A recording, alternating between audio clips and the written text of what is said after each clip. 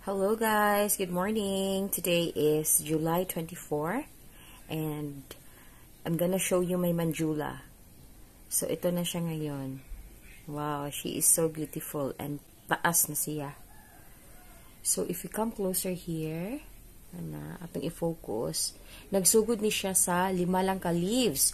1, 2, 3, 4, 5. Basta kay lima na siya ka leaves. Unya, ako ni siyang napalit o 180 pesos katong nanay lima ka leaves. Supposed to be 300 pero more nahatag na lang sa ako og 180 kay nagpalit pa man ko garden soil with rice hull and kanang iti sa manok. Napalit ko ni siya adtong May 20 and kuan na beta karon July 24. So mga kuan na gid siya 2 months plus days ana na. Dugay na gyud ko gusto aning manjula pero kanang sayangan mo kung magpalit ko uy din ka ng mahal ba na 300 ha? Mahal na ba na? So na ko nakita na 180 so gigo na lang ko. And then gusto na ko siya i-propagate in the future dili sa karon. Si Manjula is I think sensitive gid siya na photos kay muduol ganita ha? Hmm. kung muduol ta see makita nimo na ang iya ang kanang stem ba oh? Very kanang murag watery na very fragile. Di ba pareha sa kanang golden pothos na gahi? Kani siya murag dali ra malata kung ma-overbisbis. Dayon murag ma-dehydrate dayon o dili mabisbisan. So bantayon nun siya I think.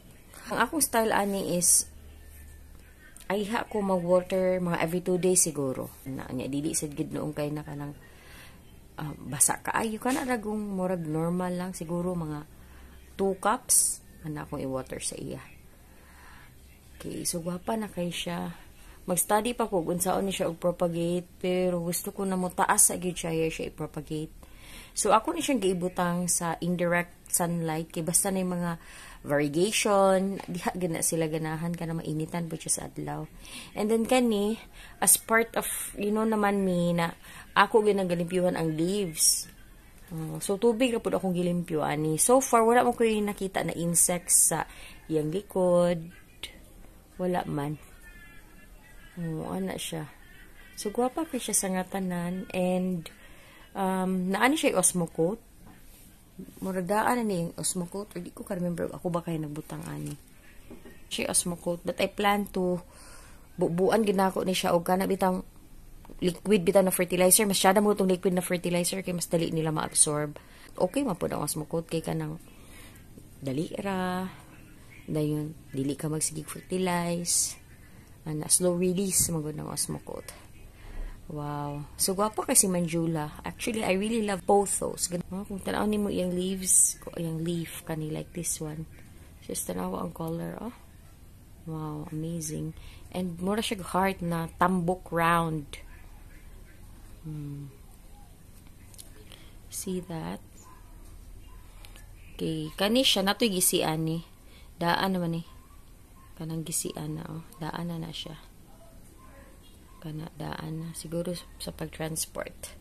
So kani siya pag nako ni siya nahilabti wala pa nako ni siya naripat. Just the same ako lang siya gibutangan og stick.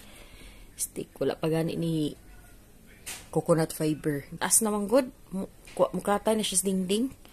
So di ko gusto na ako siyang ibton dito sa dingding kay sensitive ra ba kay siya? Oh gagmay kiing kwan oh. Huh? gagmay yung aerial root hmm. Hmm, so, nangita kog steak. Butang ako di aron di siya mukatay. So, thank you so much guys for watching. This is our plant spotlight for today. The Manjula pothos. Next time, og mutaas na ni siya, I'm gonna propagate it. Alright, see you next time. I hope you enjoyed the short video. Bye!